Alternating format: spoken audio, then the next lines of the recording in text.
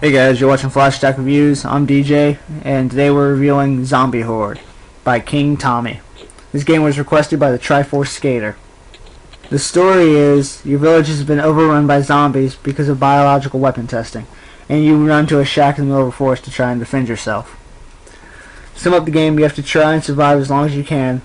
After every day, you can buy weapons and building upgrades with the money you gain from killing zombies. We give sound to 2. There's no background music and most of the enemies don't make any noise. The guns make different noises. They're not bad, but they're not the greatest either. We give graphics a 3. The graphics aren't bad, they aren't pixelated, but they are small and simple and not very detailed. They could be a lot better. We give gameplay a 3. It's a basic zombie survival game.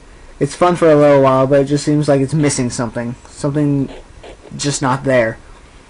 We give challenge a 3. The game has an alright difficulty. Sometimes it seems too easy, but other times it's too difficult. We give time a 2. The game doesn't end, and it seems to kind of drag on after the first few rounds. It's simple and will keep you entertained for a while, but I'm not sure it's something you'd come back and play a lot. Flash Stack Reviews gives this game a 13 out of 25. Thanks for watching, and don't forget to subscribe, and don't forget to request games either.